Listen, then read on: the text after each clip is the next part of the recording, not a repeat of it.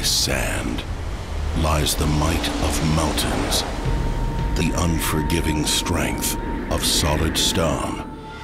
Sultans die, kingdoms fall, but the sand remains. Now, hidden within is a dark secret.